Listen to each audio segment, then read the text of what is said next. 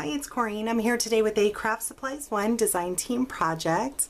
Julie has a Zibbet and Etsy store and I will put the links in the description box below. And currently in her Zibbet store, everything um, is 25% off until the 24th of this month until midnight except for the parchment flowers. And those are still buy one get one free. So if you you don't need a coupon for those. If you purchase one of those then she will automatically put a second one in your box. So again check out the Zibbet and Etsy store and Zibbet everything is 25% off until the 24th so her prices are really good and with the sale you really can't beat it. So I hope you check it out. Today I have made a shadow frame box and I do have a start to finish on this so I will add that to this video if you're interested in watching that.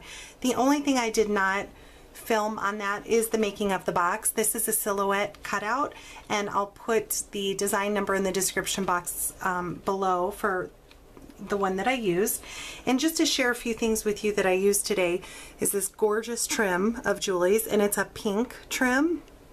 This is all I have left. I love it. It's a delicate, intricate trim. I've also used her pearls. I love these. These are the double strand. And I've used a lot of these and I still have, you know, enough left. So they go a long way. I've also used these acrylic flower beads.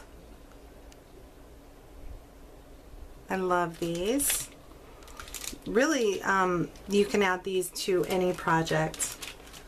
I've also used her pearl spray. And look at this. It's a bead and pearl spray. It's the white one.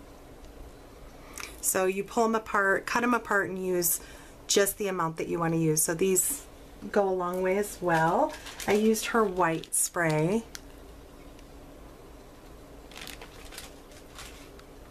And other things I'll show you as we go along. So here is a photo that I printed out and I believe I printed it out.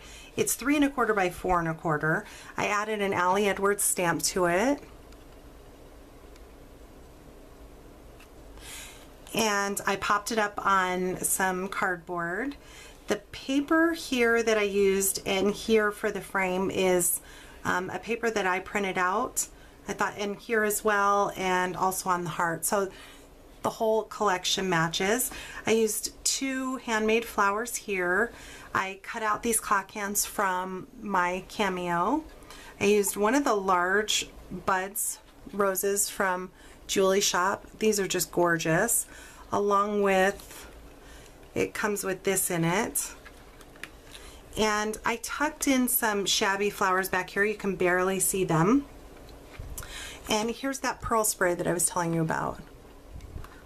So I love that. Here's the trim that I was showing you. I went through the entire frame and added it to the edge along with that pearl strand.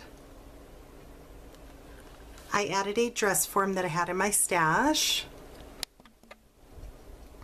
which I painted white and added some clear rock candy distress or distress glitter. I added one of Julie's flowers and here's that white spray so delicate. I love it. Here's the acrylic bead flower. I added a few pearls throughout. I also added one of her faceted buttons there, which I love to use. And then all of these are Julie's flowers. I Her prices on her flowers are great. So you have to check them out. There, I use them on pretty much every project. And I love just having every color to choose from.